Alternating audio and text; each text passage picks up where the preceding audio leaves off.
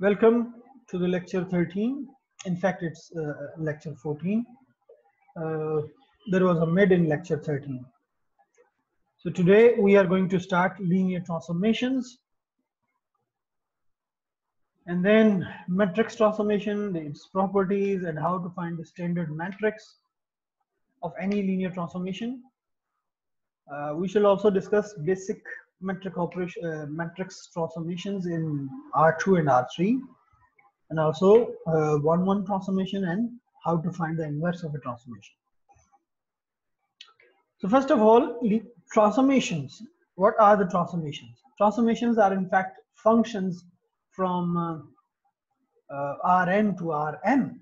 In fact, in general, uh, we can define transformations between vector spaces for example, f from v to w, where v and w are vector spaces, but here in this course, uh, we shall consider Rn and Rm as a vector spaces. So in fact, a transformation is uh, a function, okay? a function from Rn to Rm. Uh, we say that f is a transformation, okay? From Rn to Rm or that uh, F maps elements of Rn to the elements of Rm. We denote it usually uh, as we denote the functions f from x, y, x to y. Here, uh, basically the sets are Rn and Rm. So we denoted f from Rn to Rm. And in linear algebra, if both the spaces the domain space and the codomain space. In fact, uh, this one is called, in, in fact, this is the domain space or domain set. And this one is called codomain, codomain set. Okay. So if the dimension of domain and range set is same, that is if we define f from Rn to Rn, then this particular transformation is called an operator. Operator. Okay. Uh, this one. You can see here the domain of this function is Rn and range, sorry, not range, codomain is Rm. Okay. In linear algebra, further, we do not denote these kind of functions by the letter F. We denote them by the letter T. And in general, we say that we have a transformation T from Rn to Rm, just to differentiate uh, transformations from the usual functions. If you have any question, you can ask me. The other definition of a function remains same, that uh, uh, T maps each element of Rn to uh, a unique element in Rn. Okay, the other definition of the function remains same.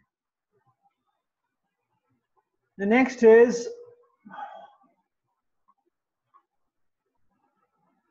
examples of uh, some transformations. Here are uh, a few examples. For example, in, in example one, you can see that let T from R2 to R3 be a transformation. So we define it in this way so that the domain element is, you can see domain element is from R2 and the range element is, you can see here we have three components or the three elements in this vector. So this transformation is in fact from R2 to R3. Okay, in the second example, uh, the transformation is defined from R2 to R2. And it is defined in this way in the form of uh, ordered pair xy, t of xy is equal to 3x plus y,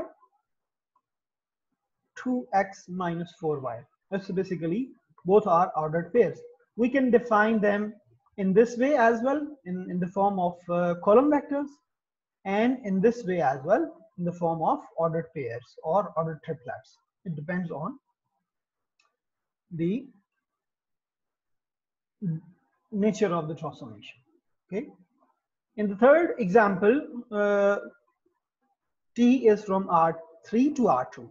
So we can define transformation from any uh, any set R cube or Rn to Rn. So here we are defining from R cube to R2.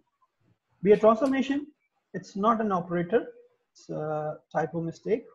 This one is an operator because it's it's the dimension of the domain and codomain set is same. So we can define T from x1, x2, x3 to uh, this is basically this element belongs to R3 and and this element is it, it belongs to R2. So this transformation is from R3 to R2. Another example of the operator, it is operator because uh, it, it, dimension of domain and codomain is same. Okay, and it is defined in this way: t of x y, 3x plus y, or uh, minus 4y. So in fact, they are functions, but special kind of functions which we define for Euclidean vector spaces. If you have any question, you can ask me.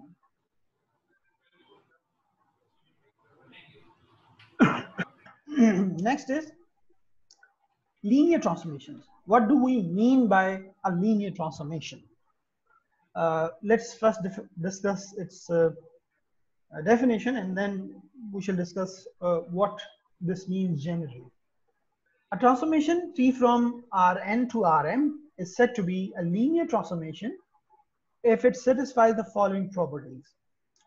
If we choose any two vectors x, y from Rn and a scalar from uh, real numbers, k is any constant, then the transformation should satisfy these two properties. What are these properties? The first one is that transformation t of some constant time x should be equal to, we can take this constant out of this transformation and then we can mention k times t of x. And the second property is t of sum of two vectors, transformations of transformation of a sum of two vectors is equal to t of x plus t of y. If the transformations, if any given transformation satisfy these two properties, then we say that the given transformation is a linear transformation. Okay. Uh, these two properties can be combined.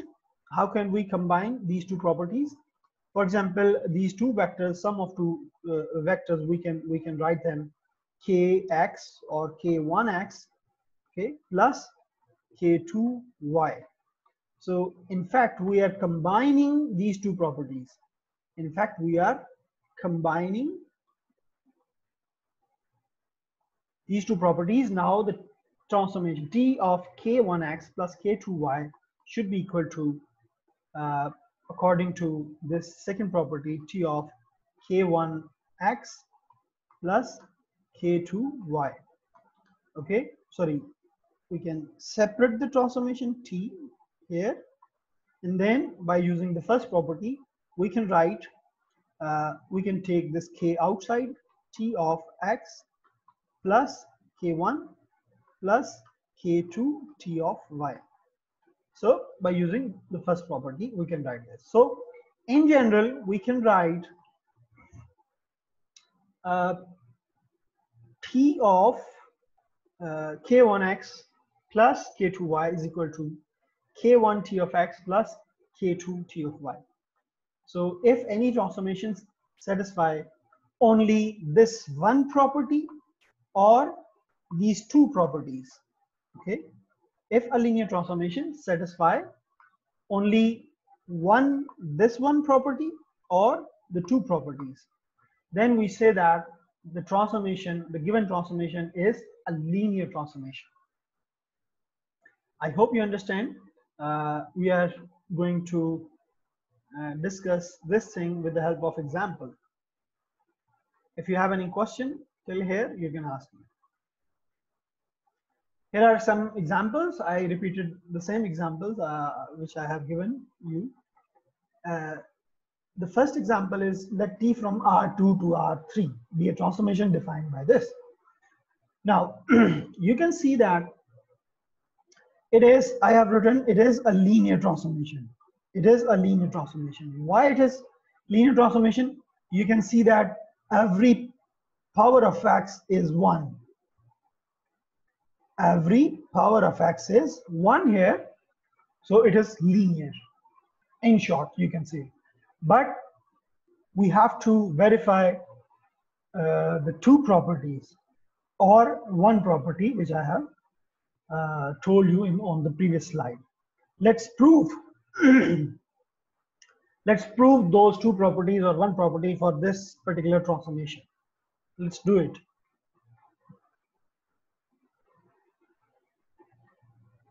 Here, let's prove it. This is the given transformation and the first property is what? Sorry.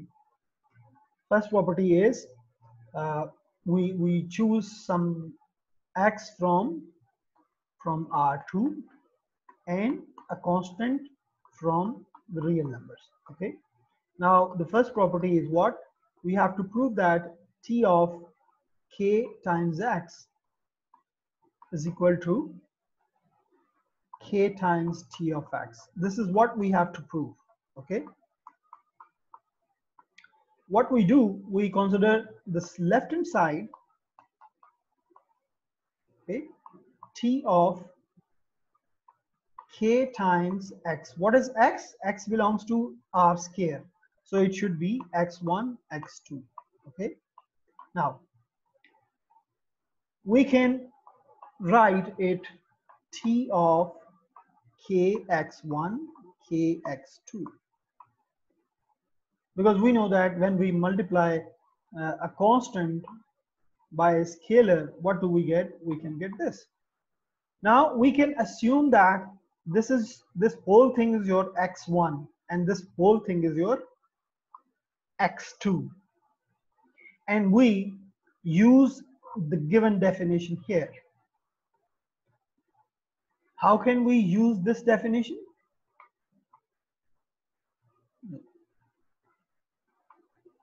So this thing uh, is equal to now what? 2 kx1 plus kx2 and then kx1 minus 3 kx2 ठीक है यहाँ पे k and uh, this is your k and the third one is minus k x1 plus kx2 ठीक है this is k and this is your x2 Okay. now, why did I put the brackets here? Why did I put the brackets here? Because now x1 used here is basically or kx1.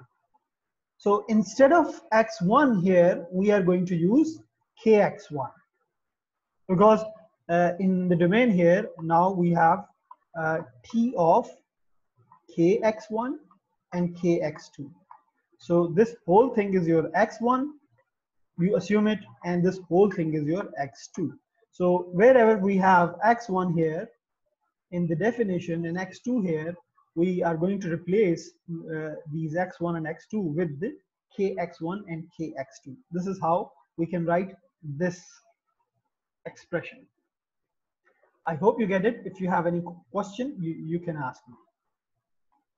I'm going to erase this and then write the next step here.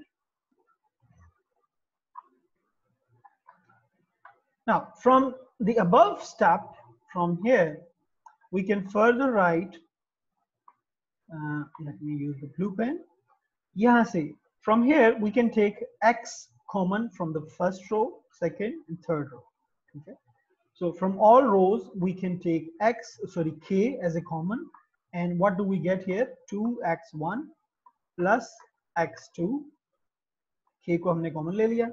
नीचे दूसरी row में 1 minus 3x2 and then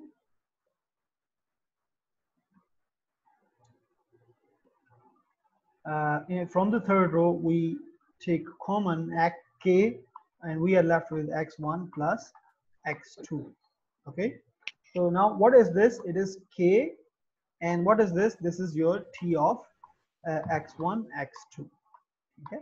Yeah yeah. This is how uh, this is what was required and we have to uh, prove this thing. We have uh, proven the first property. Now we are going to prove the second property. If you have any question you can ask me. Clear all? Now the second property the second property is what? Uh, for all uh, x y belongs to r square. What we have to prove? We have to prove t of x plus y is equal to t of x plus t of y. This is what we are going to prove. Now consider the left hand side t of x plus y it should be equal to what? If x y belongs to r square then x should be what? x1 x2 plus y1 y2 okay? Now these are two vectors and we can sum them up. Okay? We can write t of uh, x1 plus x sorry y1 x1 plus y1 and x2 plus y2 ठीक है अब आप देखें यहाँ पे uh, have obtained t of this thing and t of this thing ठीक है तो अगर हम इसको इस सारे x1 plus y1 को as a whole x1 use करें या आप इसको assume कर लें कि this is your z1 and the second one is your z2 now you have to write t of z1 and z2 how can we write it it is 2z1 plus z2 पहले हमारे पास यहाँ पे x1 x2 था तो हमने x1 x2 यहाँ पे use किया ठीक है अब हमारे पास z1 z2 है तो now we are going to use z1 z2 so I hope you understand the next is uh, z1 minus 3 z2 ठीक है and uh, the third one is minus z1 plus z2 ठीक है अब आप z की value यहाँ पे दोबारा पुट कर दें। तो what do we obtain here? Z की वैल्यू पुट करेंगे आप तो आपके पास टू यहाँ पे। Z की वैल्यू क्या है? X1 one plus Y one यहाँ पे two X one plus two Y one आ जाएगा यहाँ पे। ठीक है? और फिर प्लस z2 टू की वैल्यू क्या आ जाएगी? X2 to plus Y two ठीक है? फिर सेकेंड रो में z1 one is what X one plus Y one फिर माइनस थ्री थ्री और z2 z2 की वैल्यू क्या है? X2 plus y2 so it becomes 3x2 minus 3y2 ठीक है? तो तीसरे में थर्ड रो में minus Z one it becomes minus X one minus Y one plus Z two is X two plus Y two ठीक है ये आ गया अब हम uh, क्या करने जा रहे हैं? We are going to expand this expression I'm going to write it uh, again here on this thing is gone now now now this becomes now we can separate x1 and y uh, y1 from here, we can separate x1 and y1. What we can write 2x1 uh, plus x2. We are going to separate the x and y. So in the first row, we have 2x1 plus x2. Okay. Plus फिर y को separate करें क्या आ जाएगा? 2y1 y2 ठीक है? This one second row में x1 minus three x two ठीक है? और फिर क्या आ जाएगा? Y1 minus three Y two ठीक है?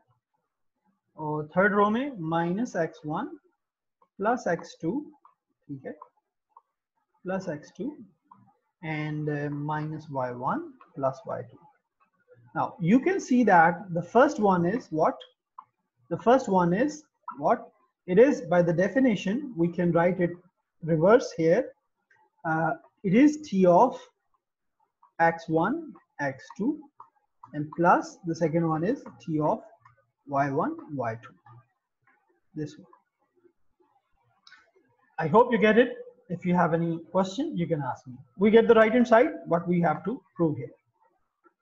If you have any question, you, you can ask me. So we can prove easily linear transformations by using the definition of uh, the transformation. Now, let's uh, go back to the examples. Here, in the first example, uh, I told you okay, the, this linear transformation is linear and we have uh, proved it uh, on the next slide. So it is a linear transformation. ठीक है shortcut आप क्या कह सकते हैं shortcut क्या हो सकती है कि आप ये देखें कि x की जो पावर्स हैं वो वन है यहाँ पे x की पावर वन है सॉरी यहाँ पे x की पावर वन है हर जगह, यहाँ पे भी, यहाँ पे भी, यहाँ पे भी, यहाँ पे भी, यहाँ पे भी, यहाँ पे भी, ठीक है? तो ये लीनियर होगी। और इसमें कोई एक्स्ट्रा कांस्टेंट भी नहीं है, तब ये लीनियर होगी। अगर कोई कांस्टेंट आ जाता है फॉर एग्जांपल यहाँ पे अगर मैं लिख दूँ प्लस थ्री पहली रो में तो ये लीनियर नहीं रहेगी, क्योंकि इसमें एक्स की पावर वन नहीं है। इसमें एक्स की पावर ज़ीरो है इनफैक्ट ठीक है? तो अगर यहाँ पे कोई कांस्टेंट में लिख देता हूँ तो उसमें यहाँ पे एक्स की पावर ज़ीरो लिख सकते हैं आप। So this is this will not be counted as linear term. So this will not be a linear transformation.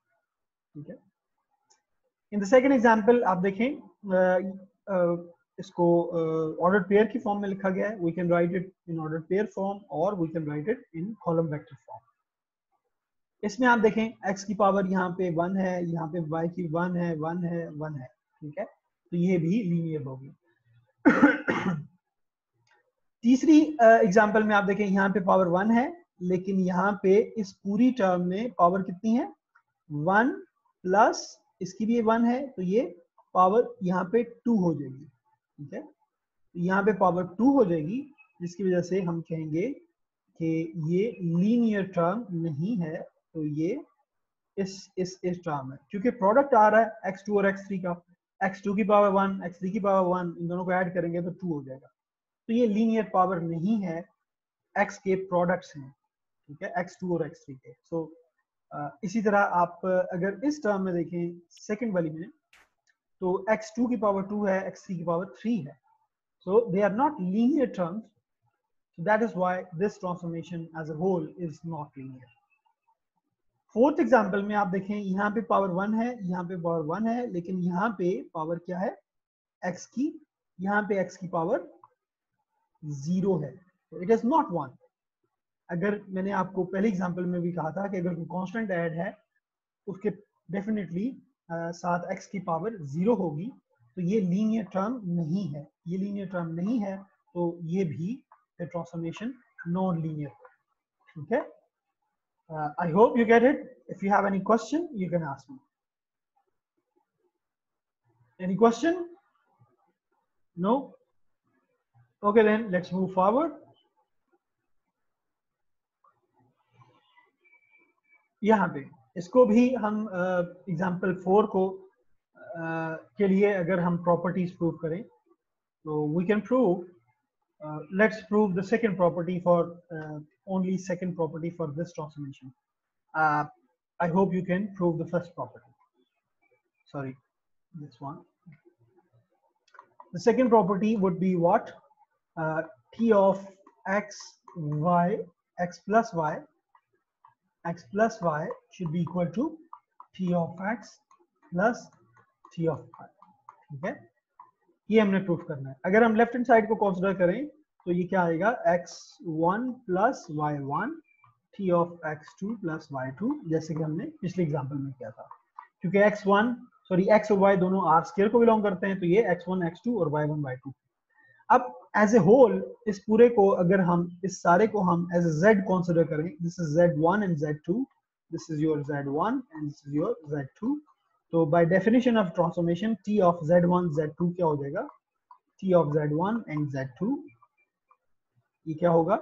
ये होगा 3z1 plus 1 and minus 4z2 ये होगा। ठीक है? So now we are going to insert the value of z1 and z2 so 3 uh, z1 की value x1 plus y1 तो यहाँ पे 3x1 plus 3y1 plus 1 आ जाएगा। और minus four X two minus four Y two ये आ जाएगा। अब अगर हम यहाँ पे इसको सेपरेट करें, जैसे कि हमने पहले सेपरेट किया था। सॉरी सॉरी सॉरी सॉरी वो x2 हाँ ठीक। अब अगर हम इसको सेपरेट करें तो x को और y को अगर आप सेपरेट करें तो क्या आएगा?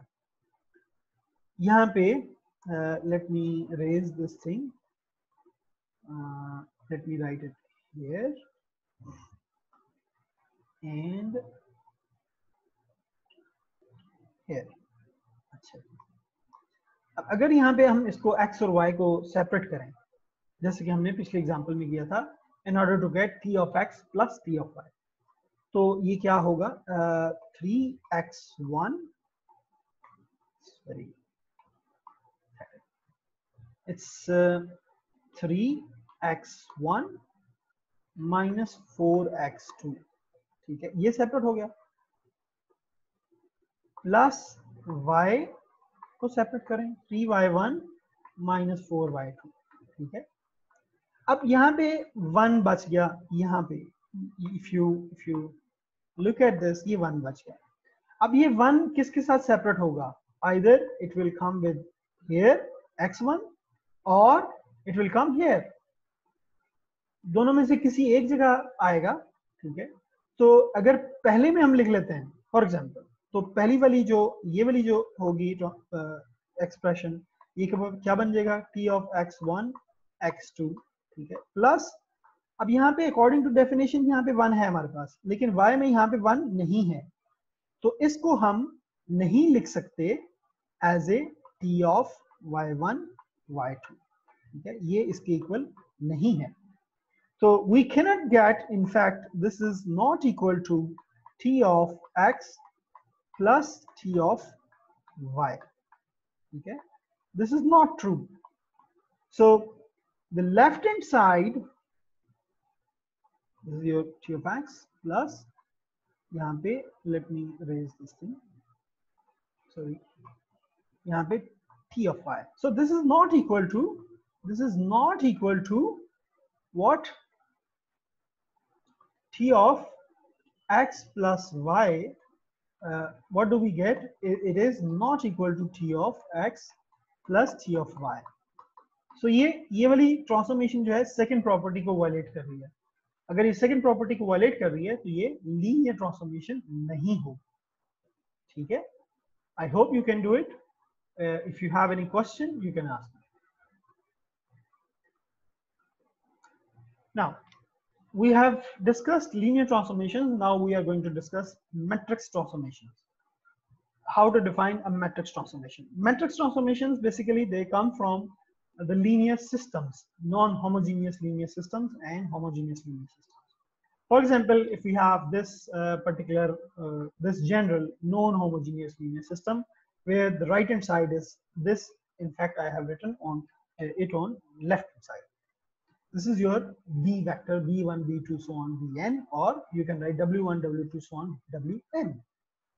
Now, this linear system, basically, it, it has m equations m equations and n unknowns okay?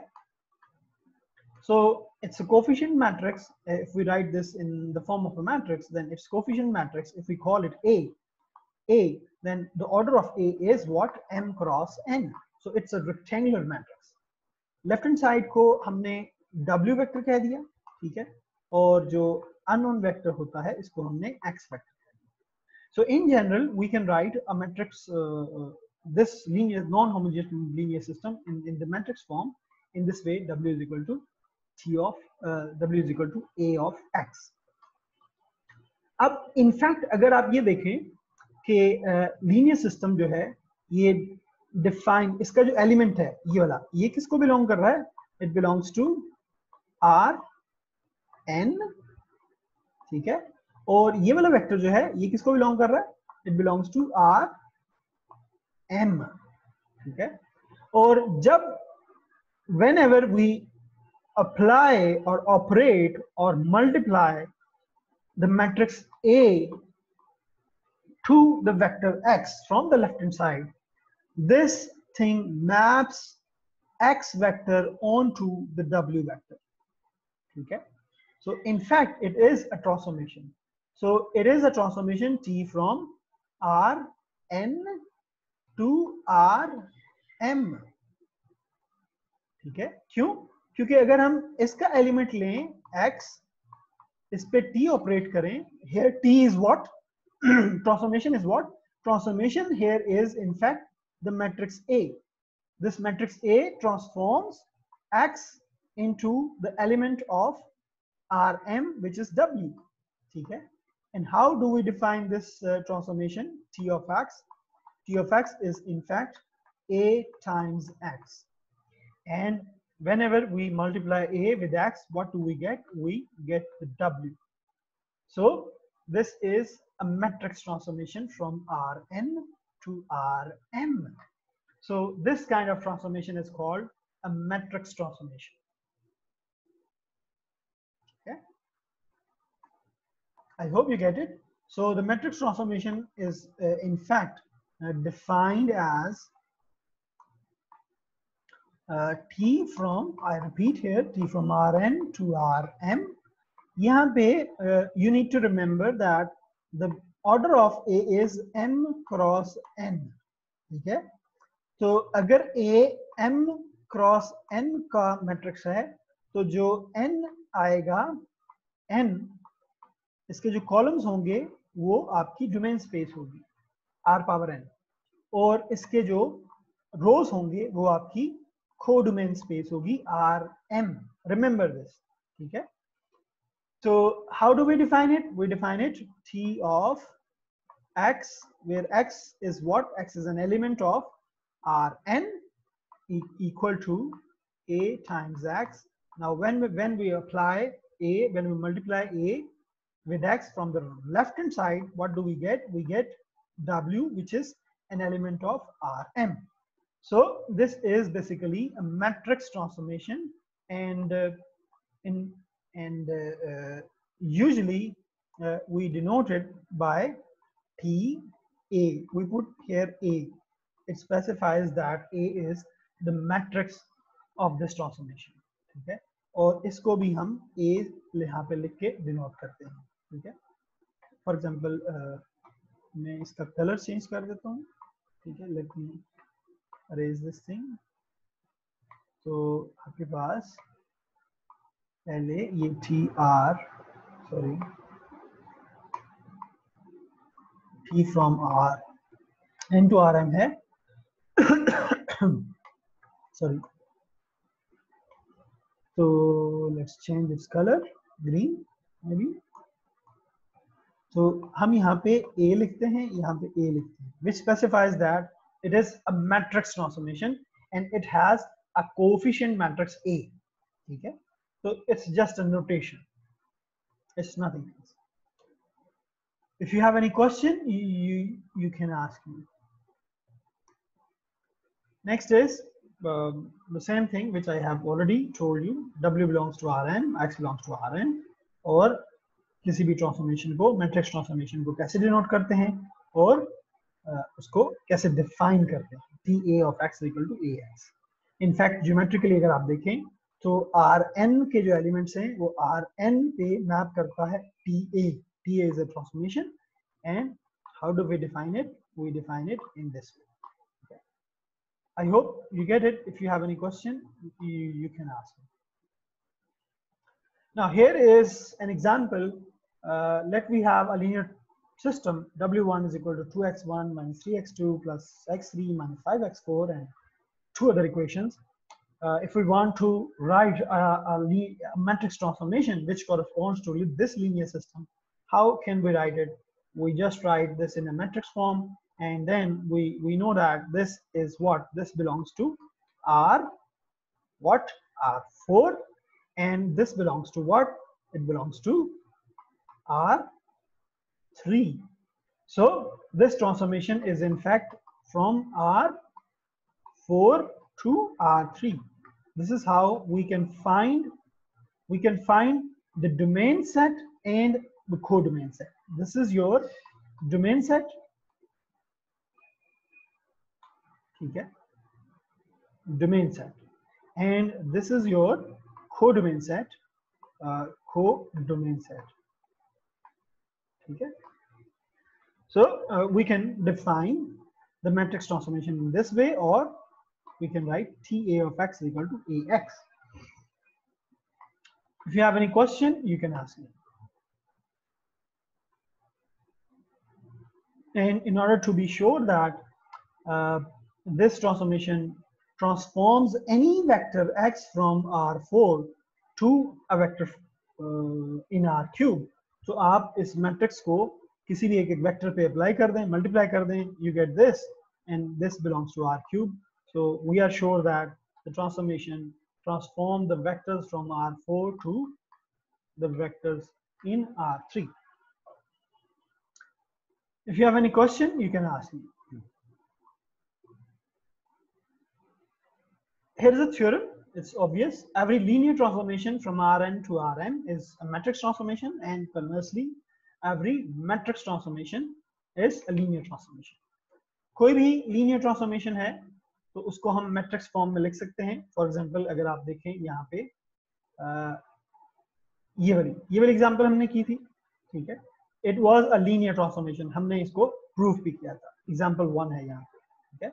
It is example one it is linear now let's see how to write it in matrix form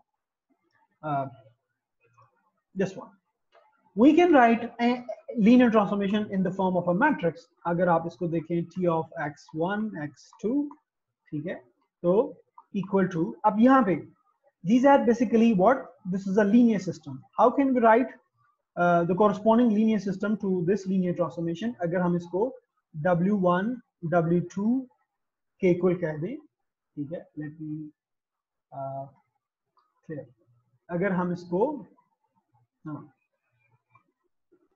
अगर हम इसको W1 और W2 के equal कह दें तो इससे linear linear system क्या आ जाएगा? W1 is equal to in fact two X one plus X two ठीक है? और W2 is equal to sorry W3 भी आएगा। लेट बी क्लियर इट अगर हम इसको इक्वल टू लिख दें, क्योंकि थ्री वेक्टर्स थ्री कंपोनेंट्स हैं इसके इस वेक्टर के तो आपके पास you must have w1 w2 और w3 because it belongs to R cube ठीक है? यहाँ पे डोमेन सेट आर स्केयर है आर क्यूब है तो आर क्यूब का जो एलिमेंट होगा, उसमें थ्री कंपोनेंट्स होंगे। अगर हम इसको लीनियर सिस्टम की फॉर्म में लिखें तो कैसे लिखेंगे? W one is equal to two X one plus X two W two is equal to X one minus three X two and W three is equal to minus x1 plus x2. Now, every linear transformation is a matrix transformation. It means that uh, uh, with every linear transformation, we can associate a linear system, a non-homogeneous linear system. So if this is a linear transformation, we can associate a linear system with this transformation. And with every linear system, we can associate a linear transformation. So this is vice versa. It's, it works both ways. Now, once we have a linear system, we can write the corresponding matrix transformation by writing this uh, in the form of the matrix form. So we can write it in the vector form w1, w2, w3 is equal to a. Now, how do we write a here? we write the coefficient of the equations yeah 2, 1, 1 minus 3, minus 1 and 1. These are the coefficient of the variables x1, x2, okay, and times x1, x2. Sorry, यहाँ पे x2 है times x2. Okay. So now what is your linear transformation? T of x, Ta of x in fact is equal to A times x where A is what now? A is A is a 3 cross 2 matrix. 3 cross 2 matrix. Uh, 3 cross 2 matrix. Let me write it clearly. It's a 3 cross 2 matrix. ये हमें कैसे पता चला यहाँ से भी आप देख सकते हैं कि इसमें कॉलम्स कितने होने चाहिए तीन सॉरी रोज कितनी होनी चाहिए? तीन और कॉलम्स कितने होने चाहिए? दो। ठीक है? So it should be a three cross two matrix यहाँ पे मैंने आपको बताया था कि अगर ए का ऑर्डर थ्री क्रॉस टू है तो जो थ्री होगा वो कोडोमेन सेट होगा आर थ्री और आर टू जो होगा वो डोमेन सेट होगा। ठीक है? So this is how we can write uh, a linear transformation into a matrix uh, matrix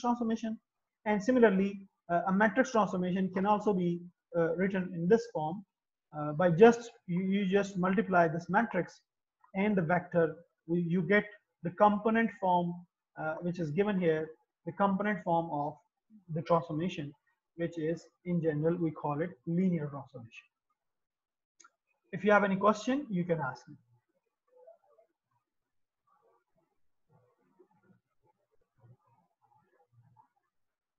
we cannot write a nonlinear transformation into a matrix form.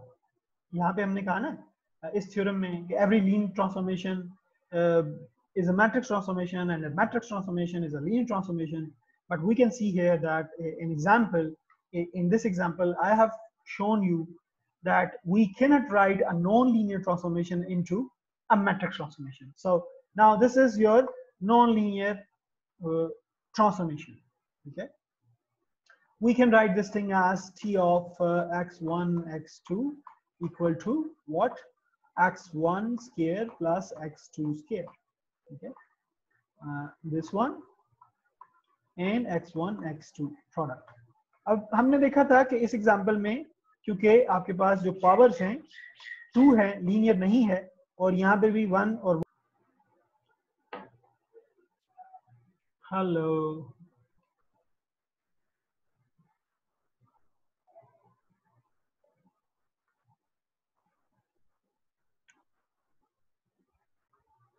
हाँ तो ये आपके पास एक नॉन लीनियर ट्रांसफॉर्मेशन है, जिसको हम कैसे लिख सकते हैं? T of X one X two is equal to X one square plus X two square और एक्स वन एक्स टू ठीक है? अब ये नॉन लीनियर है, क्यों? क्योंकि आपके पास यहाँ पे जो पावर्स हैं लीनियर नहीं है वन नहीं है यहाँ पे भी वन वन ये भी इनफैक्ट टू है। uh, अब आप देखें इसमें हम इसको सेपरेट नहीं कर सकते in the form of a matrix in to utter we cannot do it ठीक है? This is not possible so it is not a matrix transformation so only a linear transformation can be written in the form of a matrix transformation We cannot write non-linear transformation in the form of a matrix transformation. Okay, I hope you get it. If you have any question, you can ask. Now there are uh, certain transformations which you should know. Zero transformation, uh, it's uh, T naught of x is denoted by T naught of x is equal to zero multiplied by x. Here zero should be what? Zero should be a matrix. 0 is a matrix because it is a matrix transformation. Okay. Similarly, we can define the identity operator. Operator क्यों it is always defined uh, between same spaces. Okay. So t i of x is equal to i times x. किसी भी identity matrix को अगर किसी भी vector से या matrix से multiply करें, we get the same thing. That is why we call it identity operator. If you have any question, you can ask me. There is a theorem. It's a very simple theorem. Now, uh, these are certain properties which we are going to prove for a matrix transformation. A matrix transformation. Remember it. We are going to prove this for a matrix transformation. यहाँ पे मैंने तीसरी property को थोड़ा सा explain किया हुआ है इसका शॉर्ट सा प्रूफ दिया हुआ है सो so, uh, हमने ये वाली तीसरी प्रॉपर्टी प्रूफ करनी है तो कैसे करेंगे it is T A of X plus Y तो मैट्रिक्स ट्रांसफॉर्मेशन का अगर ये मैट्रिक्स है तो इसको कैसे डिफाइन कर सकते हैं? A times X plus Y ठीक है? तो which A can be multiplied with both A X plus A Y and now what is your A X A X is A X is what it is your T A of X और plus A Y क्या है? T A of Y है So जो third property is prove इसी तरह आप second first और fourth property को इजीली प्रूव कर सकते हैं I hope you can do it yourself let's have a break of five minutes, five to 10 minutes. We'll regroup here at 11.10, which 11 o'clock. Okay, and then we shall move forward.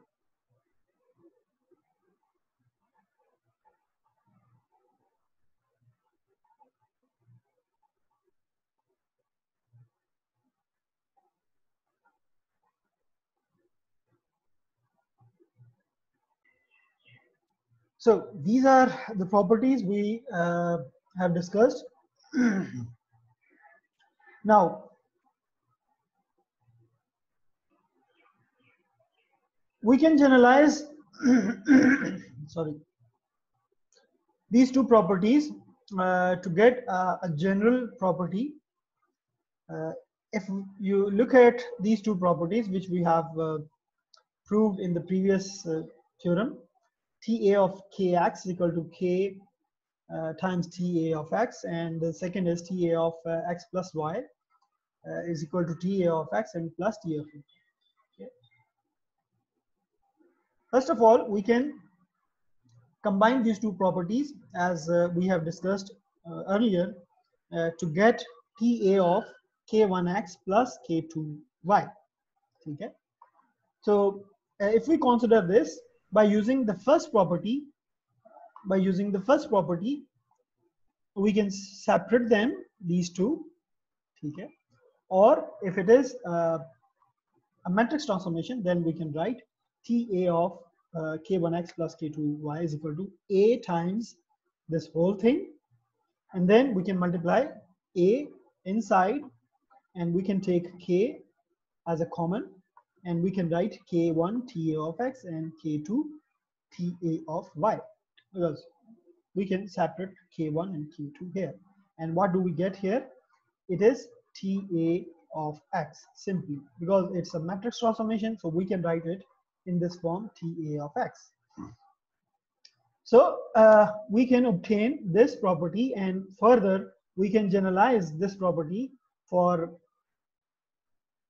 r number of vectors.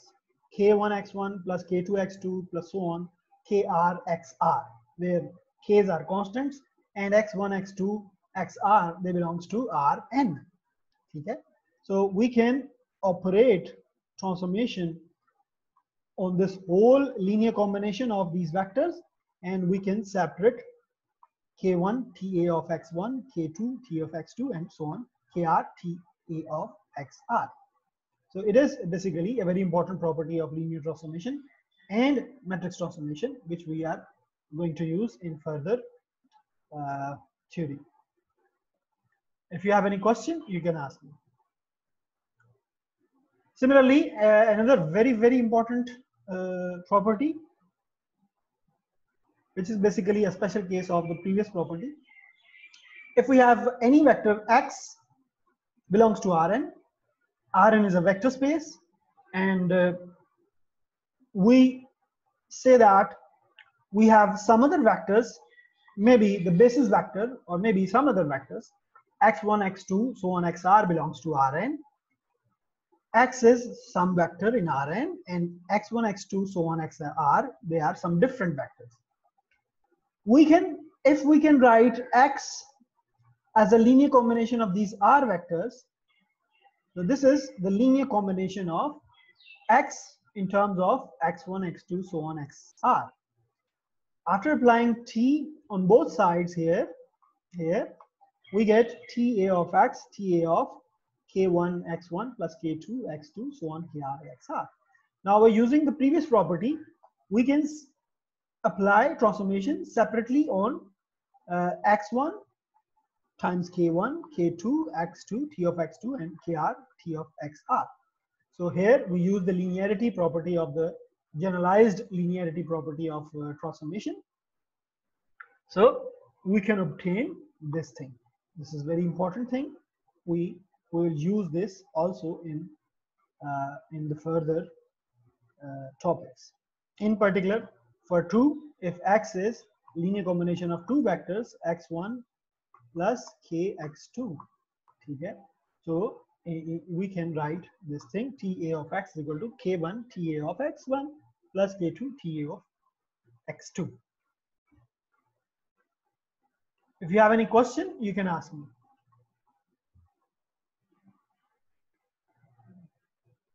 When this theorem is uh, it, it tells us that when two linear transformations are equal when their uh, matrices coefficient matrices are equal. If we have uh, ta from rn to rn tb from rn to rn both are uh, linear matrix transformations and uh, their domains and range the domain and codomain are identical. They are same.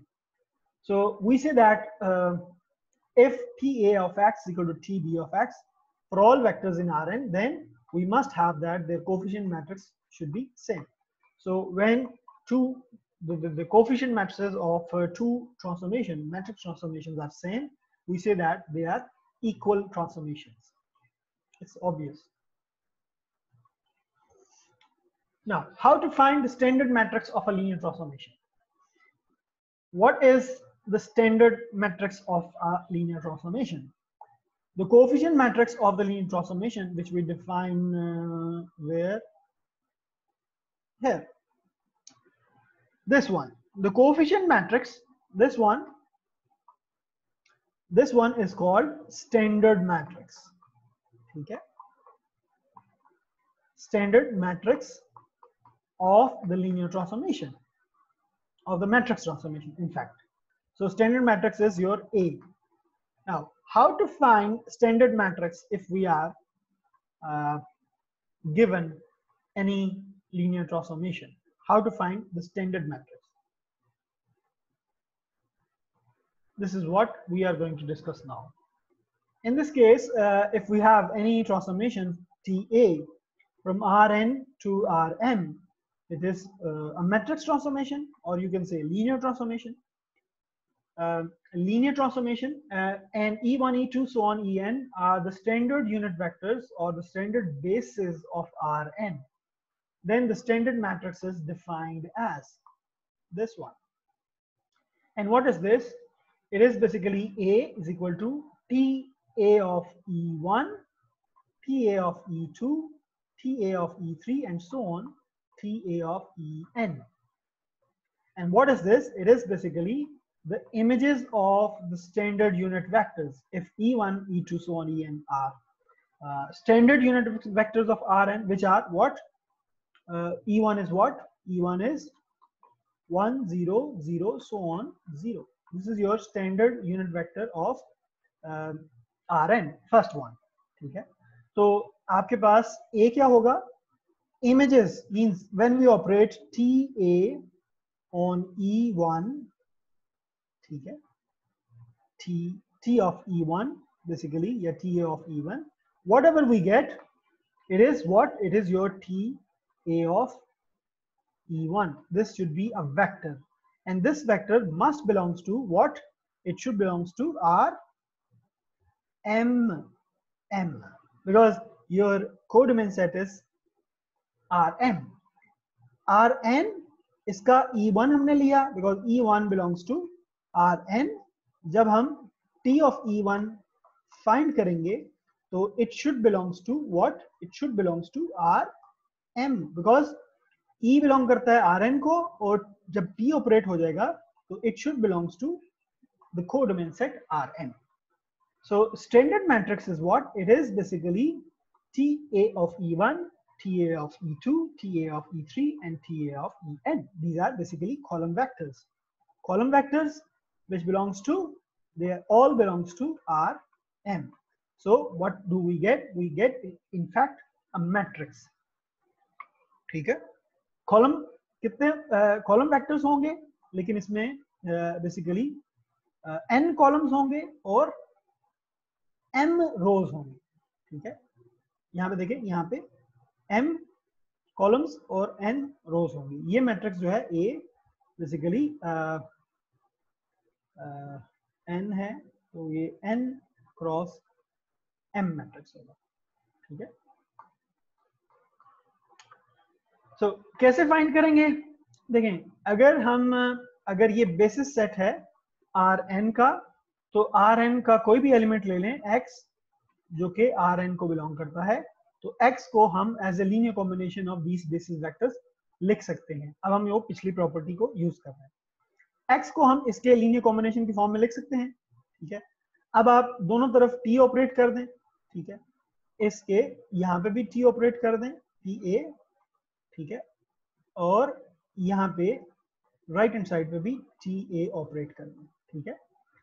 फिर ये जो right hand side वाला है using the linearity property हम इसको separate कर सकते हैं। इसमें जो कॉन्स्टेंट्स हैं अब कॉन्स्टेंट्स जो हैं वो x1, x2 होंगे और जो वेक्टर्स होंगे e1, e2 होंगे ठीक है? तो जब अब t ऑपरेट होगा तो t बेसिकली वेक्टर पे होता है कांस्टेंट बाहर ले लेते हैं हम। तो यहाँ पे हमने लिख लिया T A of E one और साथ में constant X one as a constant X two T A of E N X N ठीक है अब अगर हम इसको देखें तो इसको इसको और इसको अगर हम मैट्रिक्स फॉर्म में लिख दें यहाँ पे तो जो कॉन्स्टेंट्स आएँगे x1, x2, xn इसको हम एज ए x वेक्टर लिख सकते हैं दिस वन ठीक है? तो in fact what we have done here we have written A of x is equal to ये वाली चीज़ जो है ये वाली क्या हो जाएगी? A मैट्रिक्स हो जाएगी और ये वाली चीज़ x matrix so this is how we obtain TA of x is equal to AX. This is how we can obtain the standard matrix for any linear transformation. Just like we saw in the example, mein. let's do this thing with the help of example. This example we have defined before. It is linear transformation. We know it. We have already proved it. Now, let's define find standard matrix for this thing, ठीक है? तो standard matrix क्या होगा? First of all A is what A is three cross two matrix ठीक है? मैंने आपको पहले भी बताया था कि ये उसकी रोज होंगी और ये उसके कॉलम्स होंगे, ठीक है? इतनी उसकी रोज होंगी, ठीक है? और ये वाले उसके कॉलम्स होंगे, ठीक है? तो A three cross two matrix होना चाहिए यू शुड रिमेंबर इट और आपके पास यहाँ पे डोमेन एलिमेंट क्या है? डोमेन बिलोंग करता है किसको? आर स्केयर को, ठीक है? और आर स्केयर की जो स्टैंडर्ड बेसिस हैं, वो क्या है? E1 और E2 E1 क्या है? वन ज़ीरो और E2 क्या है? ज़ीरो वन ठीक है? अब हमने थ्री क्रॉस टू फाइंड करना है which is T of E1 और टी ऑफ़ E2 ठीक है? ये आ जाएगा आपके पास। तो टी ऑफ़ E1 अब टी ऑफ़ E1 क्या है? It is basically T of one zero और यहाँ पे टी ऑफ़ ज़ीरो वन ठीक है? अब आप इसकी डेफिनेशन को यूज़ करेंगे? ठीक है? ये जो हमें डेफिनेशन गिवन है, ये वाली this one this one this definition we are going to use here this one अब इसमें T of one zero calculate करें। अगर हमारे पास T of X one X two ये है एक्स की जगह हमने क्या पुट करना है? एक्स की जगह हमने वन पुट कर देना है और एक्स टू की जगह हमने ज़ीरो पुट कर देना है। तो हमारे पास टी ऑफ़ वन ज़ीरो आ जाएगा। तो अगर हम पुट करें x1 की जगह 1 और x2 की जगह 0 यहाँ पे तो यहाँ पे 2x1 प्लस ज़ीरो आ जाएगा। तो two times one plus zero और दूसरे में क्या आ जाएगा? यहाँ पे। X1 is 1 minus three three times zero और तीसरे में माइनस वन प्लस ज़ीरो ये आपका पहला कॉलम वेक्टर आ जाएगा। अब आप दूसरे को यूज़ करेंगे और फाइंड करेंगे हम। अब हम क्या फाइंड करेंगे? We are going to find now T of zero sorry T of zero one ठीक है? टी ऑफ़ ज़ीरो अब हम इसी डेफिनेशन में x की जगह ज़ीरो पुट कर देंगे, ठीक है? और एक्स वन की जगह ज़ीरो पुट कर देंगे और एक्स टू की जगह वन पुट कर देंगे, क्योंकि हमारे पास यहाँ पे ज़ीरो और वन है, यहाँ पे ज़ीरो और यहाँ पे वन तो अगर ये एक्स वन की जगह ज़ीरो पुट करें तो ये two into zero plus one और zero minus three into one ठीक है? और फिर माइनस ज़ीरो प्लस वन ठीक है? अगर आप इसको सिंप्लीफाई करें तो व्हाट डू वी गेट अगर आप इसको सिंप्लीफाई करें तो हमारे पास आ, क्या आ जाता है? यहाँ से इसको सिंप्लीफाई करें तो this is what it is two it is one it is minus one it is one it is minus three and it is one ठीक है? So this is your standard matrix A ठीक है? This is your standard matrix A. This is your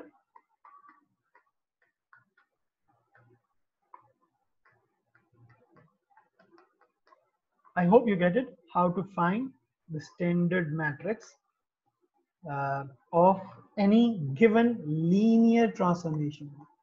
Okay, this is your linear transformation. Okay, and how to find the standard matrix?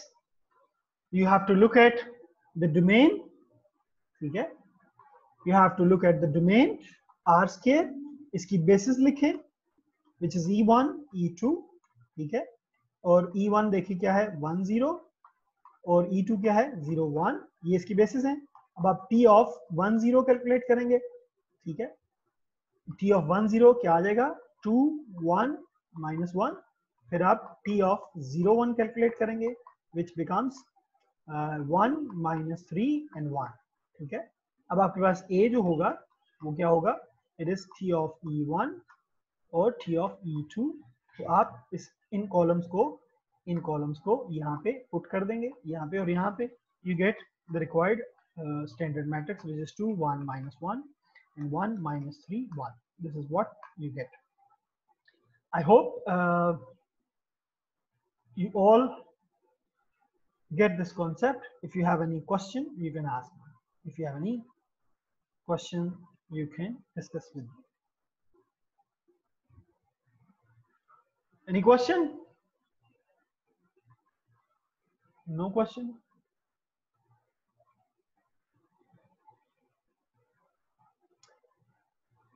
The second part of this example was uh, to also compute t of 1 4. So t of 1 4 क्या होगा? अब आपके standard matrix आ गया है which is uh, 2 1 minus 1 and one minus three one ये आ गया standard matrix अब आप इसमें वन फोर पुट करें ठीक है? इन दोनों को मल्टीप्लाई करें uh, क्या आ जाएगा? Two into one plus one into four तो ये सिक्स आ जाएगा। फिर minus sorry one into minus twelve तो ये माइनस अलेवन आ जाएगा ठीक है? माइनस अलेवन और माइनस वन और फोर ये आ जाएगा three so this is your vector. अब ये देखें you can see that this belongs to R2 and this one this belongs to R3 ठीक है which was given in the transformation I hope you get it uh, if you have any question you can ask similarly uh, ये हमें एक linear transformation given है ठीक है इसका हमने स्टैंडर्ड मैट्रिक्स फाइंड करना है अगर हमें इस तरह ऑर्डर्ड पेयर्स ऑर्डर ट्रिपलेट्स या इस तरह इस तरह की फॉर्म में हमें कंपोनेंट फॉर्म में ट्रांसफॉर्मेशन गिवन है। तो first of all you can write it in the vector form ठीक है? तो उससे आपको आसानी होगी। X1 x2 x3 x4 and this is equal to what? It is 7x1 plus 2x2 minus x3 plus x4 ठीक है? और सेकंड क्या है? X two plus X three और थर्ड वन क्या है? माइनस एक्स वन अब आप देखें, ये किसको बिलोंग करता है? इसके कितने कंपोनेंट्स हैं? It has four components so it should belongs to R four और इसके कितने कंपोनेंट्स हैं? तीन so it should belongs to R three so first of all we know that T जो है, वो आर फोर से आर थ्री पे है. ठीक है?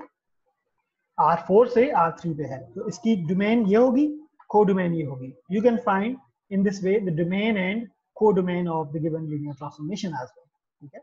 Up, in order to find the standard matrix, what do we need? We need to write the basis of R4. R4 key, कितनी basis hongi? Basically E1, E2, E3 and E4. Okay. है चार hongi होंगी इसकी E1 kiske equal hoga? E1 hoga. E1 होगा 1000 ठीक है? E2 होगा 0100 और E3 होगा 0010 और E4 होगा 0001 ठीक है? अब हमने T ऑफ़ E1 फाइंड करना है। T ऑफ़ E1 ठीक है? मींस T ऑफ़ 1000 ठीक है? इसमें क्या है? X1 की वैल्यू हमने 1 पुट करनी है x2 3 4 तीनों ज़ीरो तो ये हमारे पास क्या आ जाएगा? X1 की value 1 remember this seven into one बाकी ज़ीरो हो जाएँगे। फिर यहाँ पे भी ज़ीरो क्योंकि x1 है ही नहीं यहाँ पे और आखिर में माइनस एक्स वन है तो ये माइनस वन हो जाएगा। ठीक है? So this is your T of E one seven zero minus one ठीक है? अब टी ऑफ़ ई टू क्या होगा? T of e2 is what? T of uh, 0 1 0 0 अब आपके पास एक्स टू की वैल्यू वन है, बाकी सारे ज़ीरो तो ये क्या होगा? X2 की वैल्यू 1 तो बाकी सारे ज़ीरो 2 इंटू वन बाकी सारे ज़ीरो x2 की वैल्यू यहाँ पे 1 और यहाँ पे 0 क्योंकि x1 है। तो यहाँ पे 2 1 0 ये आपका t of e2 आ जाएगा, ठीक है? Similarly you can find T of E three T of E three क्या होगा आपके पास? T of e3 is 0 0 1 0 which is uh, what आप x1 की वैल्यू x2 की वैल्यू x3 की x4 की वैल्यू कहाँ पे पुट करेंगे? यहाँ बेसिकली यहाँ पे पुट करेंगे ना ठीक है? तो आपके पास ये क्या आ जाएगा? X3 की वैल्यू आप इसमें वन है वन है। तो यहाँ पे माइनस वन आ जाएगा क्योंकि सिर्फ़ x3 यहाँ पे है। और फिर सेकंड में x2 और x3 है यहाँ पे सॉरी प्लस वन आ जाएगा। ठीक है? और यहाँ पे ज़ीरो आ जाएगा। So this is your minus one zero ये आपका टी ऑफ़ ई है। T of E you can calculate it directly E four X four की वैल्यू वन होगी। यहाँ पे कोई नहीं है यहाँ पे वन है। सॉरी यहाँ पे है। लेट मी करेक्टेड यहाँ पे। पहले एक्सप्रेशन में आपके पास यहाँ पे एक्स फोर है ठीक है? ये वन आ जाएगा दूसरे में नहीं है तीसरे में नहीं है तो ये आपका टी ऑफ़ ई फोर होगा। So ultimately you can write standard matrix as uh, T of E1, T of E2, T of E3 and T of E4 ठीक है? तो ये आपके पास क्या आ जाएगा? टी ऑफ़ ई वन आपके पास seven zero zero T of E two E2 is x2 one होगा तो ये टू वन ज़ीरो फिर तीसरे वाला एक्स थ्री वन होगा, ये माइनस वन वन ज़ीरो और एक्स फोर फिर वन होगा So which is 1, 0, 0. So this is your standard matrix. This is your standard matrix. Okay? I hope you get it. If you have any question, you can ask.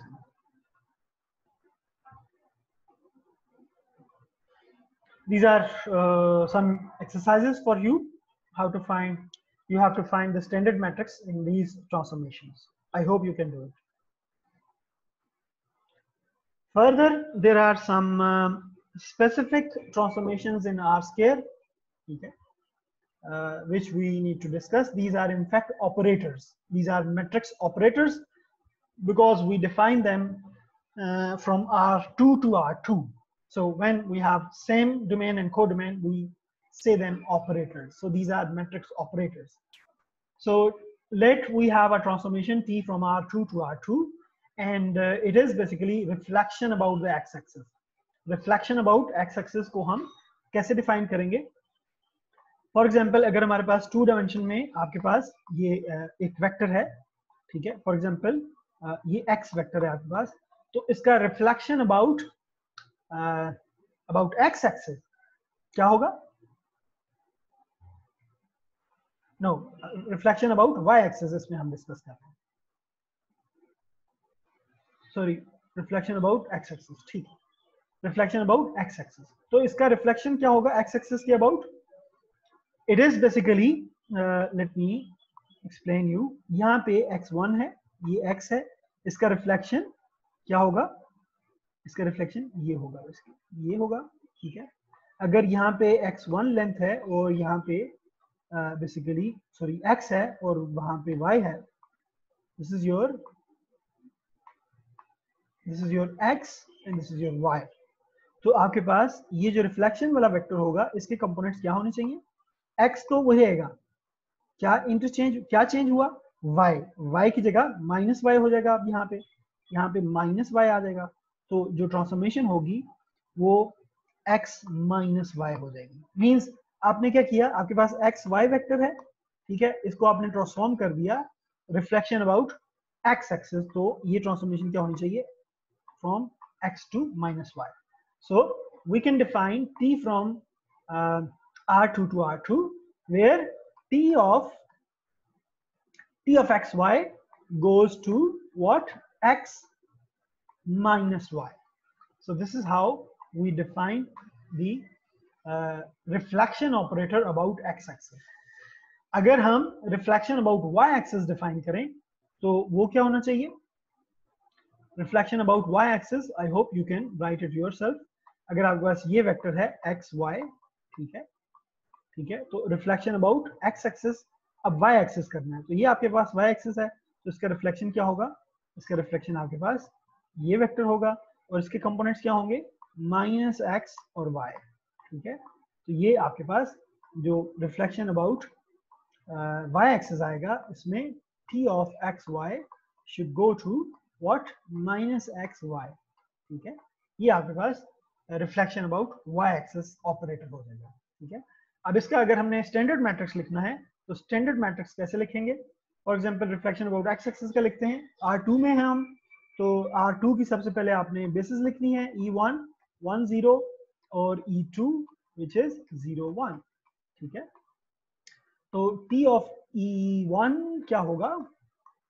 Of E one T of E one in fact it is T of one zero तो ये अगर हम इस transformation में देखें तो ये क्या आना चाहिए? एक्स वन है वन आ जाएगा वाई ज़ीरो है तो ज़ीरो तो टी ऑफ़ ई टू क्या आ जाएगा? It is T of zero one अगर ये डेफिनेशन यूज़ करें हम तो टी एक्स की जगह ज़ीरो पुट कर देंगे और वाई की जगह वन तो ये क्या आ जाएगा? ज़ीरो माइनस वन तो स्टैंडर्ड ऑपरेट क्या हो जाएगा? मैट्रिक्स इसका T of E one T of E two ठीक है? और is equal to one zero zero minus one ये आ जाएगा इसका स्टैंडर्ड मैट्रिक्स ठीक है? तो स्टैंडर्ड मैट्रिक्स अगर ये है तो आपके पास जो uh, uh, ये Operator होगा इसको अगर हम मैट्रिक्स फॉर्म में लिखें तो T T X Y is what it is one zero zero minus one times matrix transformation corresponding to this linear transformation. I hope you can do it. And we can further simplify T of x equal to A times x. Okay. तो किसी भी matrix transformation को sorry linear transformation को अगर आपने matrix में convert करना है तो you need to find the standard matrix ठीक है? आप इसमें ग्राफिकली भी देख सकते हैं कि आपके पास अगर आपके पास पहले जो वेक्टर था, वो क्या है? यहाँ पे एक्स वेक्टर है, जिसमें कंपोनेंट एक्स और वाई है, ठीक है? तो आपने ये देखना है कि इसमें जो यूनिट वेक्टर है फॉर एग्जांपल यहाँ पे यूनिट वेक्टर आप अगर डिफाइन करें वन ज़ीरो ये आपका वन ज़ीरो है, और यहाँ पे for example zero one unit vector है, या ई वन ई टू है, ठीक है? ये E one E two standard unit vector अब आप ये देखेंगे कि जब ट्रांसफॉर्मेशन हो जाती है तो ये कहाँ पे मैप कर रहे हैं? ठीक है? यहाँ पे आपका ई ई वन था, ठीक है? विच इज़ वन ज़ीरो अब ये कहाँ पे ट्रांसफॉर्म हो गया? अब ये ट्रांसफॉर्म हो गया है यहाँ पे, ठीक है? यहाँ पे which becomes what T of E one T of E one क्या बन जाएगा? इसमें एक्स माइनस वन और वाई ज़ीरो है। तो ये आपका ई e वन इस पे ट्रांसफॉर्म हो गया, ठीक है? और आपका जो ई e टू है, वो वहीं पे रहेगा, ठीक है? ई टू यहीं पे रहेगा। तो टी ऑफ़ ई टू जो है, वो आपका ज़ीरो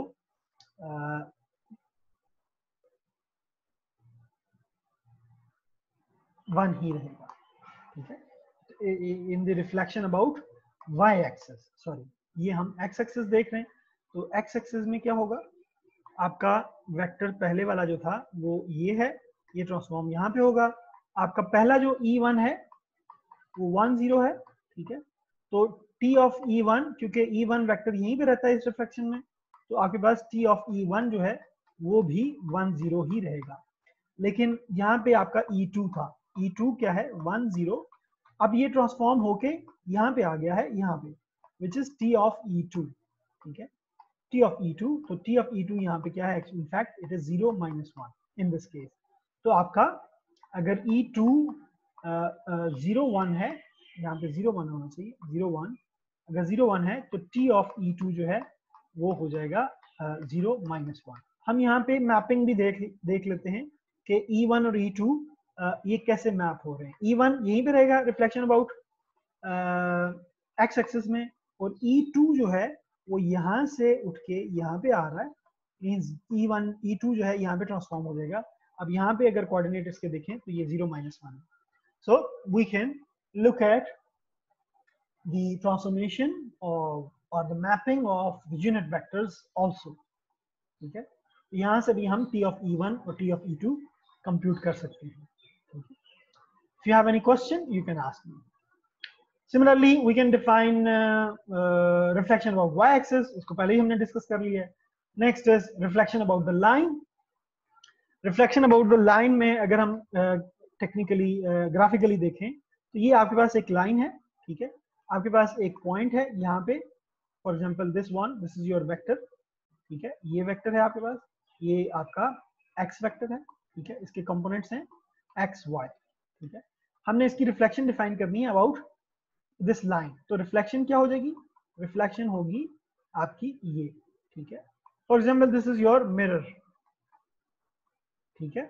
ये मिरर है। अगर इसका मिरर इमेज देखें यहाँ पे एक्स का तो आपके पास टी ऑफ़ एक्स यहाँ पे आना चाहिए ठीक है? तो ये इसका आपके पास रिफ्लेक्शन uh, होगा और this reflection is basically about the line is equal to x. This is your y to x line. अब इसमें अगर हम देखें तो स्टैंडर्ड uh, मैट्रिक्स कैसे हम लिखेंगे? uh, अगर आपके पास टी ऑफ़ एक्स वाई है which is equal to Y X ठीक है? और ये कैसे? देखें अगर एक्स uh, जो है वो एक्स वाई है जब रिफ्लेक्शन लेंगे तो यहाँ पे वाई एक्स हो जाएगा क्योंकि यहाँ पे ये एक्स है यहाँ पे वाई है ठीक है? ये एक्स है ये वाई है। जब रिफ्लेक्शन लेंगे तो ये वाई वाली लेंथ जो है ना वो यहाँ पे एक्स पे आ जाएगी। और x वाली लेंथ जो है वो मूव कर जाएगी y पे। ठीक है? This is what happens in the reflection तो आपके पास यहाँ पे और यहाँ पे, ठीक है? X y आपका यहाँ पे ट्रेवल कर जाएगा, ठीक है? यहाँ पे आ जाएगा और x आपका यहाँ पे चला जाएगा, जब आप रिफ्लेक्शन ये वाला लेंगे, ठीक है? तो इसलिए हमने t ऑफ़ एक्स वाई को is equal to Y X लिया है। इसका standard matrix I hope you can write it आप आप देख सकते हैं यहाँ पे ज़ीरो वन और वन ज़ीरो ये आपका इसका स्टैंडर्ड मैट्रिक्स होगा। I hope you can calculate it और अल्टीमेटली टी ऑफ़ एक्स जो है वो क्या होगा? ए टाइम्स एक्स होगा वेयर ए की वैल्यू क्या है? ये value standard matrix I hope you can find it if you have any problem you can discuss with me. Similarly we can define uh, uh, matrix transformation in r2 rotational operator rotational operator क्या करता है?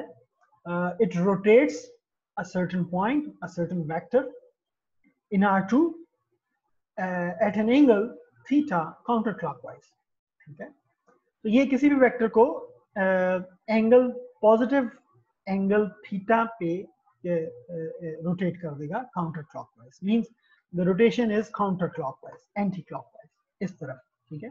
अगर इधर होगा तो आपका वो negative theta हो जाएगा इसी ट्रांसफॉर्मेशन में। अगर काउंटर क्लॉकवाइज ट्रांसफॉर्मेशन लेंगे तो आपका एंगल नेगेटिव थीटा हो जाएगा इसी ट्रांसफॉर्मेशन में, वो आपके पास क्लॉकवाइज रोटेशन आ जाएगी वेक्टर की। रिमेंबर दिस ठीक है? अब इसमें आप देखें अगर तो ये ट्रांसफॉर्मेशन कैसे डिफाइन हुई है? इसमें देखिए आपके पास कोई भी वेक्टर है, हमने ये देखना है कि उसके यूनिट वेक्टर्स कैसे जो है ना रोटेट करेंगे। ठीक है। इनफैक्ट हमने क्या फाइंड करना होता है?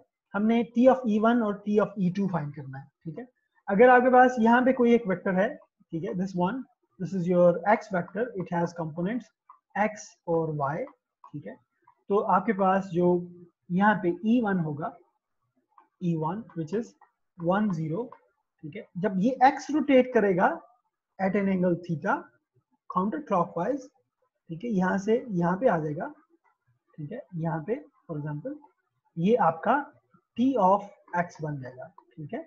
क्योंकि एक्स जो है, वो रोटेट कर गया एट एन एंगल थीटा जब एक्स रोटेट करेगा इट मींस ई वन भी रोटेट करेगा, ठीक है? ई e वन आपका रोटेट कर जाएगा। अगर यहाँ पे था पहले ई e वन तो ये ई वन समवेयर यहाँ पे आ जाएगा एट एन एंगल थीटा और आपका जो ई e टू है, वो पहले यहाँ पे था तो ये भी at an angle theta rotate कर जाएगा ठीक है? यहाँ पे आपका टी ऑफ़ ई टू आ जाएगा, ठीक है? और यहाँ पे आपका टी ऑफ़ ई वन आ जाएगा, ठीक है?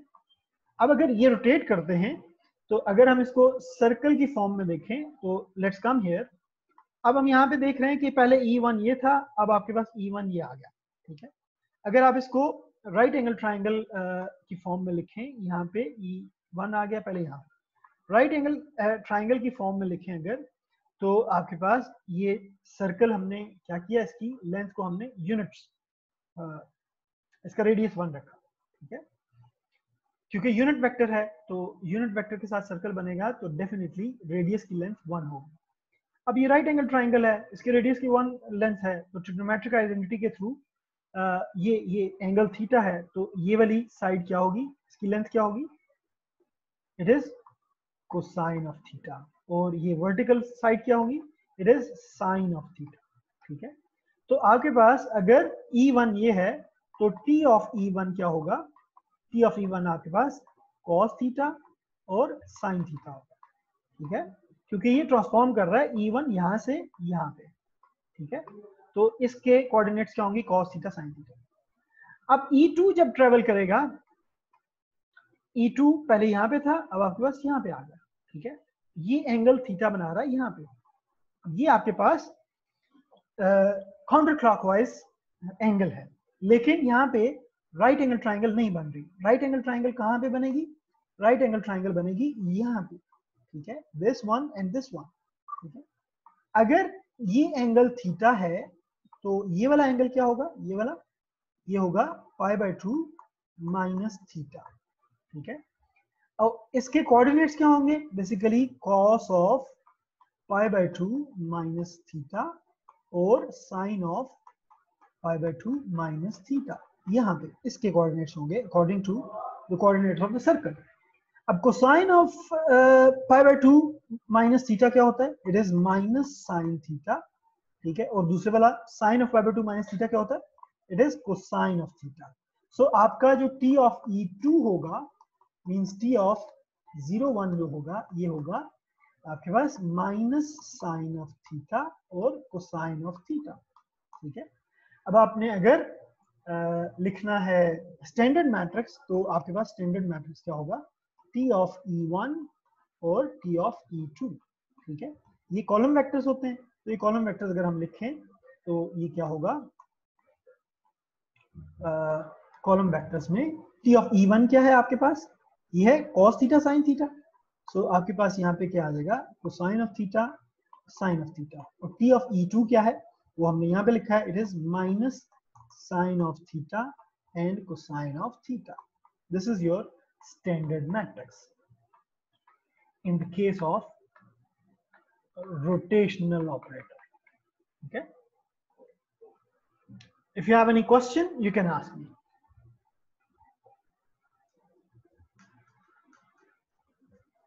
I give you maybe 30 seconds to look at this problem and uh, think over it. If you have any question, you can ask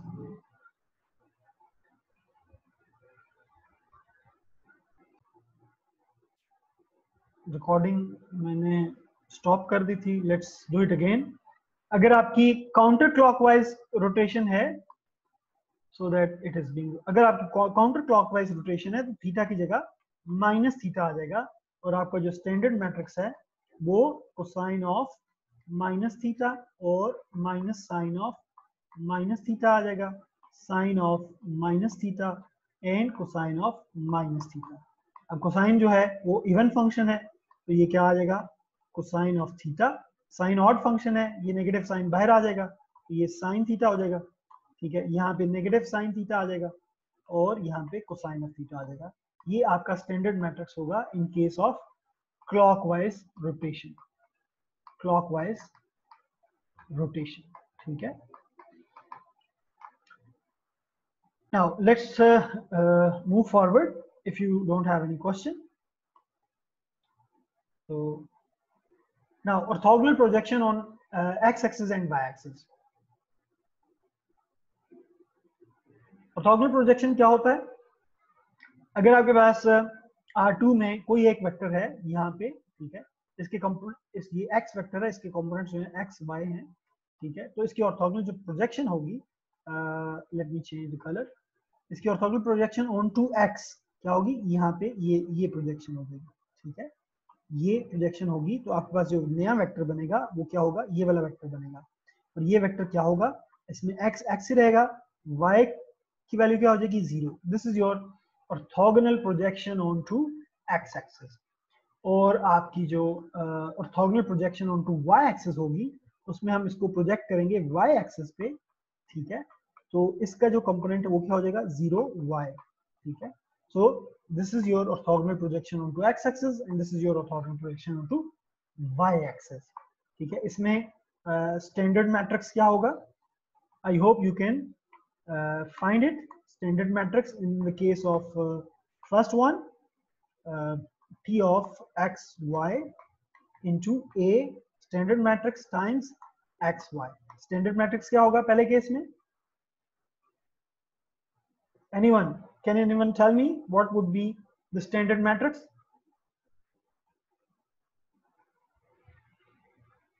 anyone talk to me Shahriyar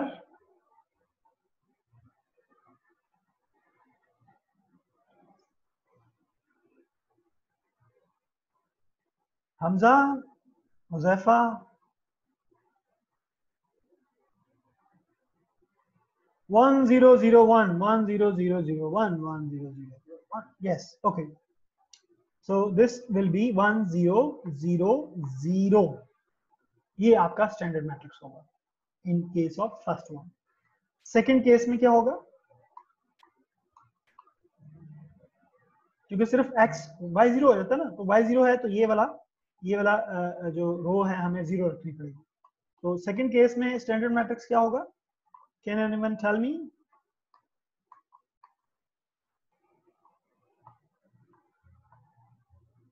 this will be your standard matrix okay i hope you can find it similarly there are uh, other transformations which are simple you can find this this is your contraction and dilation contraction और dilation में क्या होगा? Contraction uh, में और dilation में। अगर आपके पास ये कोई वेक्टर है let me write it again अगर आपके पास ये कोई वेक्टर है x ठीक है? ठीक है? तो अगर हम इसको k से मल्टीप्लाई कर देंगे it means the first one is t of x is equal to k times x ठीक है? k times x is kx ky ठीक है? तो ये वेक्टर जो अगर k ज़ीरो और वन के दरमियान होगा तो ये कॉन्ट्रैक्ट हो जाएगा। मींस आपका जो नया वेक्टर होगा, वो इससे छोटा वेक्टर होगा, ठीक है? तो ये आपका के एक्स वेक्टर होगा कॉन्ट्रैक्शन होगी वेक्टर, ठीक है? और दूसरे केस में डायलेशन है when k is greater than one your new vector will be the dilation of the first vector So in that case, your vector will be extended and this will be your x vector. So इसका standard matrix क्या होगा? Can anyone tell me what would be the standard matrix in both cases?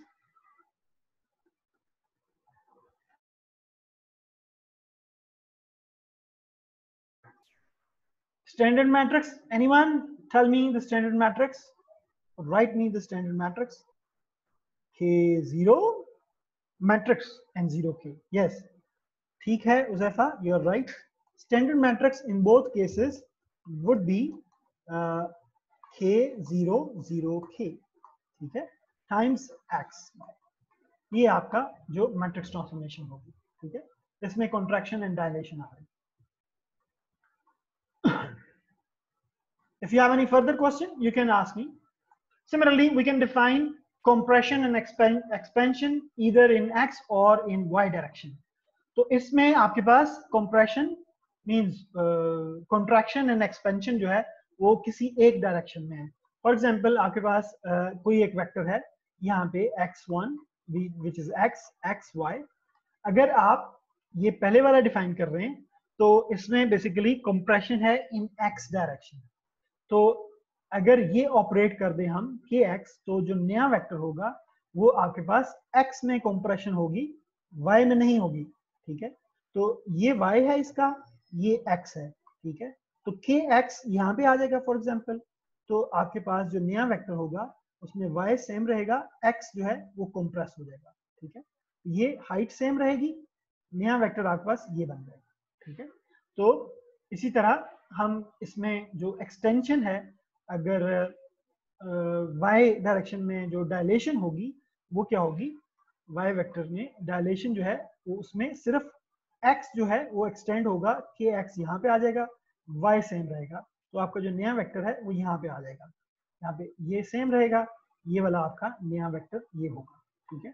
So this is your dilation in only in x direction similarly dilation in and compression in x direction अगर आपके पास ये original vector है तो आपके पास, अगर compression define कर रहे हैं, ये y है, ये x है। तो कंप्रेशन इन y डायरेक्शन जो है, वो y छोटा होगा। तो आपका जो वेक्टर है, उसमें x सेम रहेगा, y चेंज हो जाएगा। This will be your height of the new vector ठीक है? So this is your x, k, y, ठीक है? अगर y में k वन से ग्रेटर होगा तो डायलेशन होगी। डायलेशन के केस में एक्स वही रहेगा। वाई आपका डायलेट होगा, ठीक है? तो आपके पास ये आपका नया वेक्टर आ जाएगा, ठीक है? I hope you can write standard matrices in each case इसमें एक्स सेम रहेगा और इसमें वाई सेम रहेगा, ठीक है? So remember this we can write the standard matrix in first and third case in a way t of x is equal to k में k zero zero one ये इसका standard matrix होगा। और जो second और fourth case है उसमें जो स्टैंडर्ड मैट्रिक्स होगा वो क्या होगा? टाइम्स एक्स वाई यहाँ पे भी आएगा। This is standard matrix is this one ठीक है? तो सेकंड केस में आपके पास वन ज़ीरो ज़ीरो के होगा। This is your standard matrix in the second case this is your A ठीक है? I hope you get it. If you have any question, you can ask me. यहाँ पे share है in x direction and y direction shear में share से क्या मुराद है कि अगर आपके पास कोई एक वेक्टर है यहाँ पे, ठीक है तो आपके पास एक्स में शेयर हो रही है। और शेयर कितनी हो रही है? के टाइम्स वाई ठीक है? अगर आपके पास ये एक्स ओरिजिनल वेक्टर है तो एक्स ये है, ठीक है, और वाई ये है, ठीक है?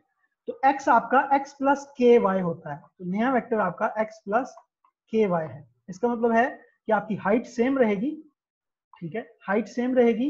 ये जो न्यू वेक्टर है ये ट्रेवल कर जाएगा यहाँ पे ठीक है? दिस वन ठीक है? So this will be this will be your new vector इसमें x में शेयर है y में नहीं है।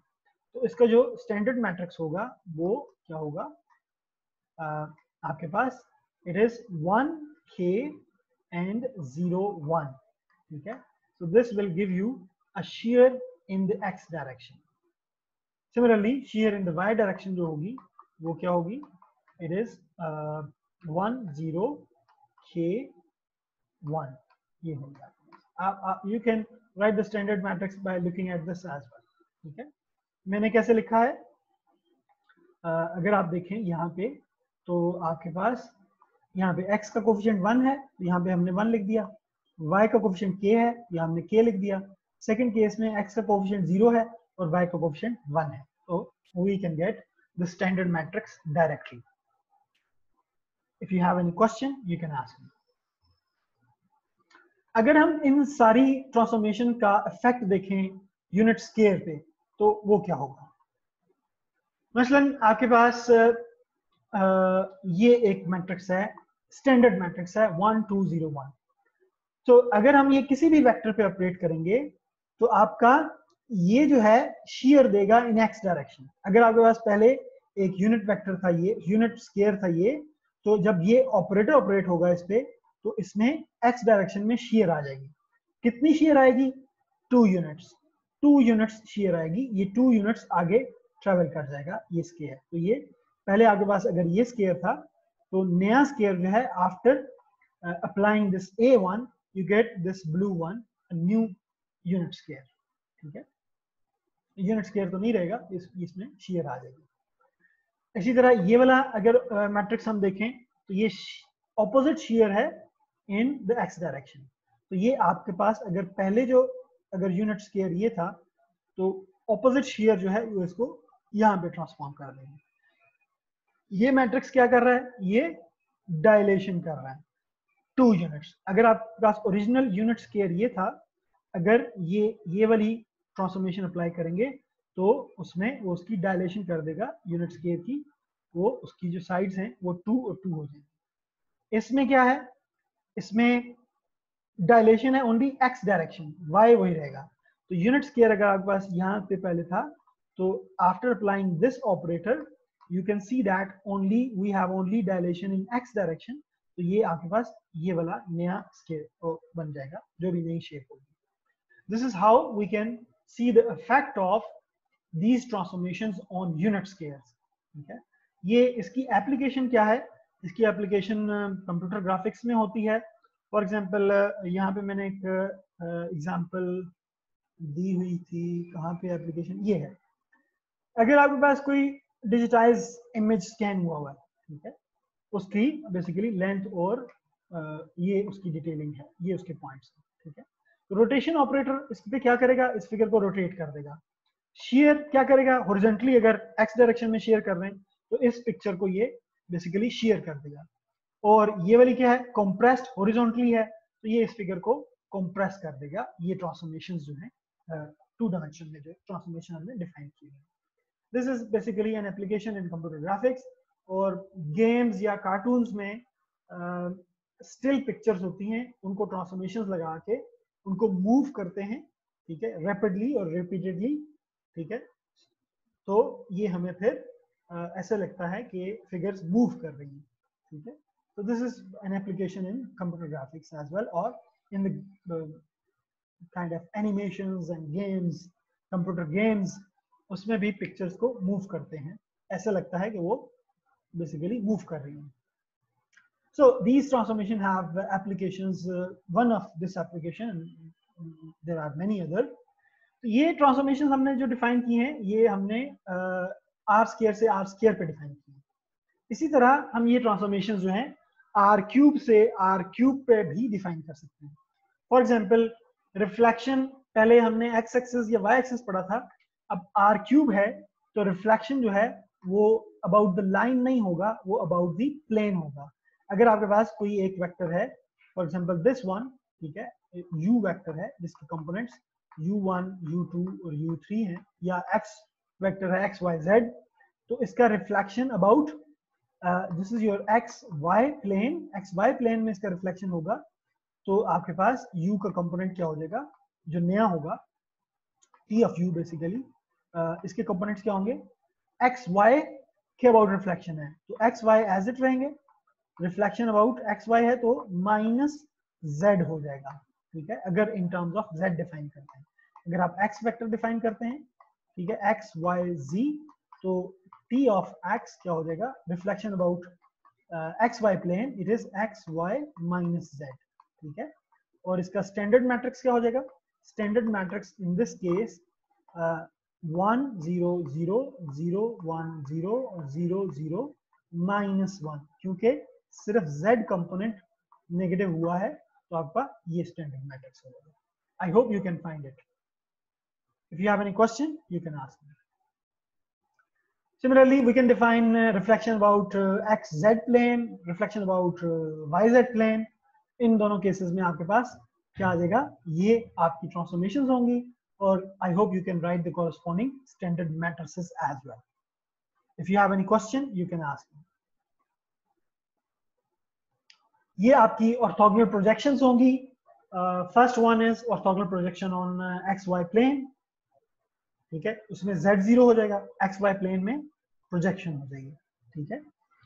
ग्राफिकली uh, अगर आप देखें तो आपके पास अगर ये x y z है अगर आपके पास कोई वेक्टर है ये वाला, ठीक है दिस इज़ x वेक्टर और ये आपके पास एक्स वाई प्लेन है। तो इसकी जो प्रोजेक्शन होगी प्रोजेक्शन होगी एक्स वाई प्लेन पे, यहाँ पे, ठीक है तो ये यहाँ पे आ जाएगा। इसमें z कंपोनेंट ज़ीरो हो जाएगा। तो एक्स वाई ज़ीरो ठीक है, इसका जो कॉरस्पॉन्डिंग ए मैट्रिक्स हो जाएगा, वो क्या होगा? अगर आप इसको देखें, इसमें x का कोफिशिएंट वन है, y का कोफिशिएंट वन और y का कोफिशिएंट ज़ीरो तो यहाँ पे one zero zero zero one zero और ज़ीरो ज़ीरो ज़ीरो। ये आपका स्टैंडर्ड मैट्रिक्स होगा। और orthogonal projection of a vector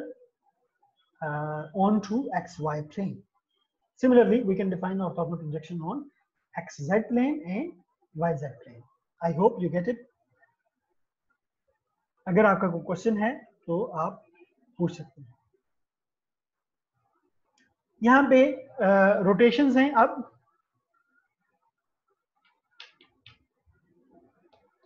rotation rotational operators हैं। रोटेशनल ऑपरेटर्स में बेसिकली हम ये देखेंगे सबसे पहले कि रोटेशन अबाउट एक्स एक्सेस है counter clockwise rotation about x axes ठीक है? Counter clockwise rotation about x axes ठीक है? ये वाली रोटेशन फिर हम counter clockwise rotation about y axis देखेंगे और फिर काउंटर क्लॉकवाइज आप इसको यू कह लें, ठीक है? और counter clockwise rotation about z axis देखेंगे, ठीक है? तो सबसे पहले हम देखते हैं rotation about not working why it is not working yes now तो सबसे पहले हम देखते हैं counter clockwise about x axis अब अगर आप देखें counter clockwise rotation about x axis ये इस टाइप की होगी, ठीक है? Let me sorry.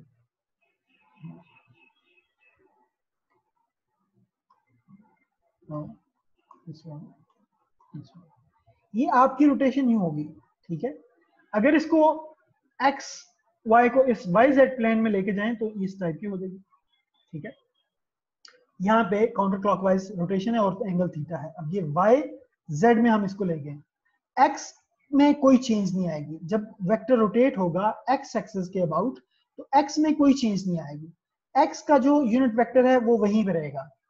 Unit vector rotate किसके होंगे? y और z के, ठीक है?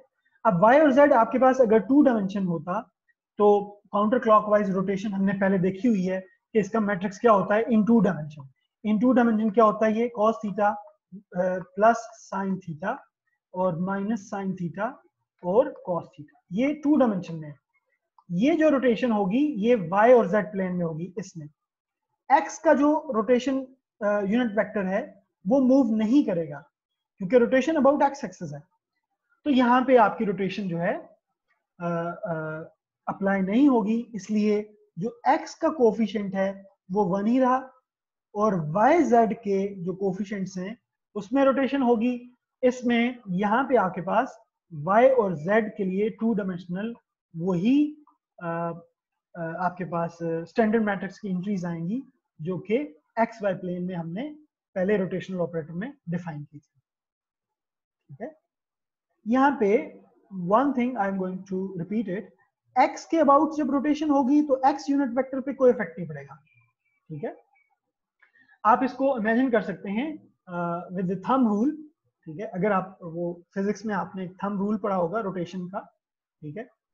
तो अगर आप थम रूल के तहत देखें by pointing your thumb towards the x axis in the direction of x axis इस इस डायरेक्शन में आपका थम जो है वो पॉइंट uh, करना चाहिए।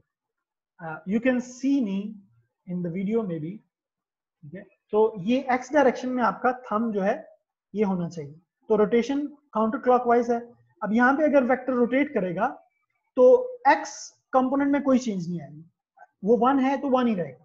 या एक्स है तो एक्स ही रहेगा। जो चेंज आएगी वो किसमें आएगी? वाई और जेड में आएगी।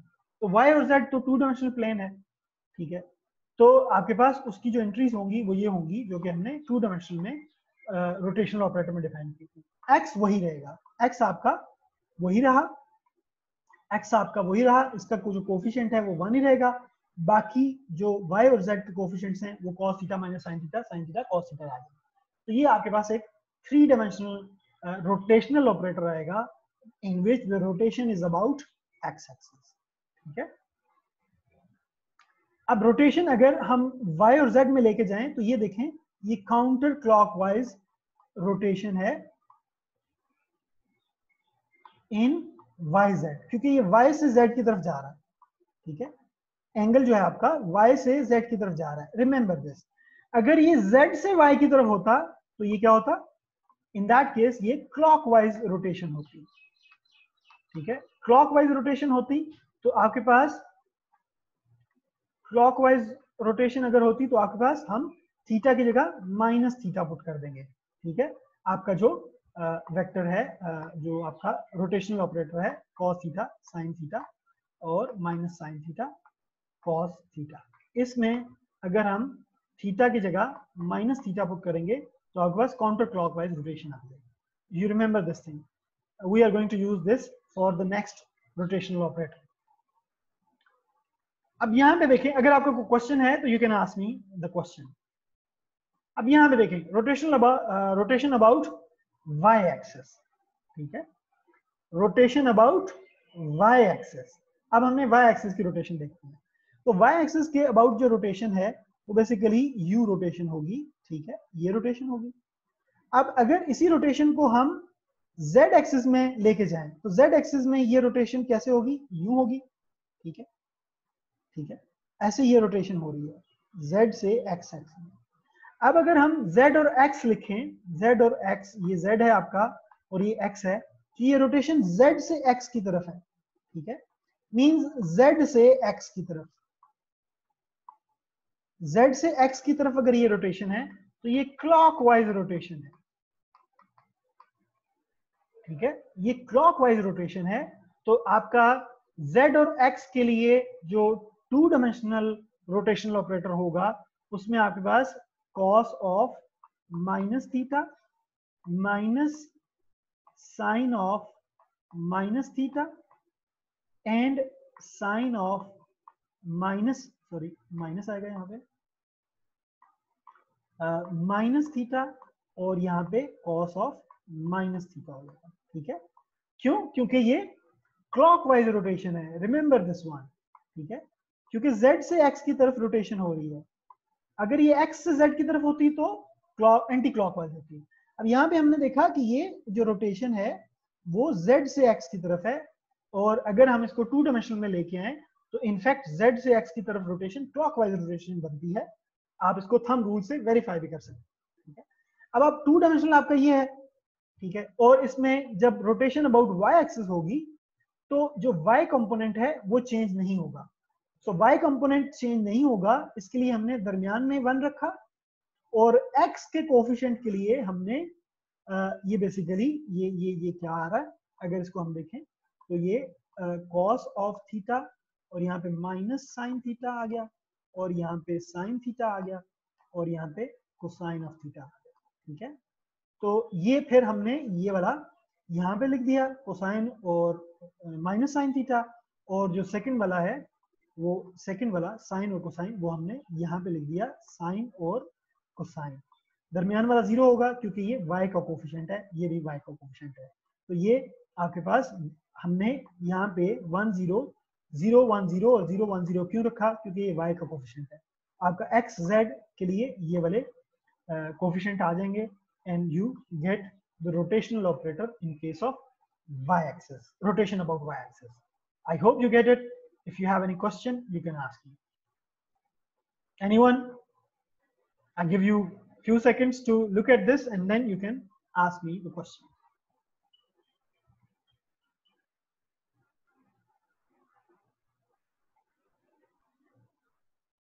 if you don't have any question, I uh, leave this thing, the rotation of z axis, z axis, uh, for you. Look at it.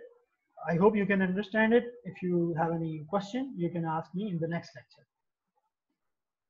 Next is contraction and dilation operators in three dimension. Mein. Ye bhi aap, I hope you can do it. It's an extension of uh, contraction and dilation operator in R2. I hope you can do it. This application we have discussed earlier. So we stop till here today. Uh, in the next lecture, we start with the composition of transformations. Okay? And then a couple of more properties um, we shall discuss and then uh, we'll finish it. If you have any question, you can ask me. Otherwise, I'm going to stop it here till today, uh, till here today. Uh, if you don't have any question, uh, I'm going to end the meeting. Thank you very much.